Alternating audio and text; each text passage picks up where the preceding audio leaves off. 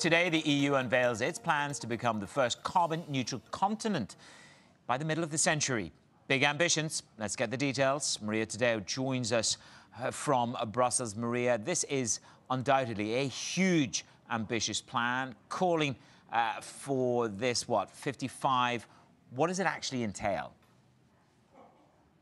Yes, and Manus, look, this is a huge proposal that the European Commission is putting forward uh, today. Now, again, that Fit for 55, the reference there is very clear, you know, is to cut down emissions by 55% come 2030. And to do that, they're going to essentially have to change uh, climate measures pretty much across every industry in the European Union. This package, which we know will entail 12 different pieces of legislation, will touch everything from aviation to transport, also energy uh, efficiency, and of course, taxation. Again, it's a huge, huge package. Of course, this is just the beginning, Manus, we should really stress that this is a proposal by the European Commission. Then after that, as you know, it gets very political. It will move forward to European leaders and the European Parliament. Usually, for something like this to be approved, it takes about two years. The problem here is that they have to do it much quicker because, man, it's 2030, it really is around the corner.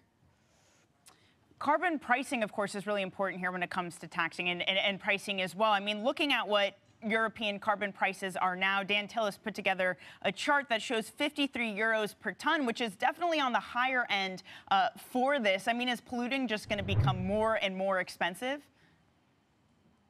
Yes, uh, you know, Danny, that's a very good observation. And that amount is probably going to go up if uh, today we do see the commission, as we're expecting, to touch two key pillars of pricing. One, of course, will be uh, the European emissions trading system. This is already, as you said, the biggest one in the world, but they could include more industries on that list. This is, of course, companies that buy and sell credits to pollute. They could also change uh, the criteria to make it indeed more expensive and disincentivize uh, the use of very polluting uh, machinery and industry. And then, of course, the big surprise here could be the carbon tax. You know, there's been speculation about mm. this for weeks that the European Union will introduce that levy to avoid that we stop polluting here but shift somewhere else. So those are definitely the two ones to watch the ETS and the carbon tax.